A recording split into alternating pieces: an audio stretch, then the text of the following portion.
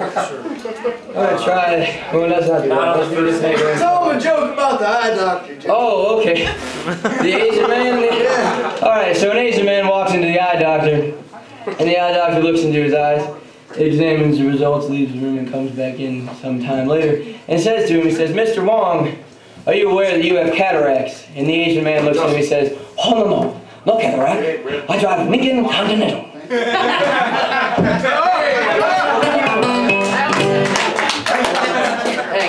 that's a, dumb joke. Thank you, Doc. But I like it. I'm partial to it.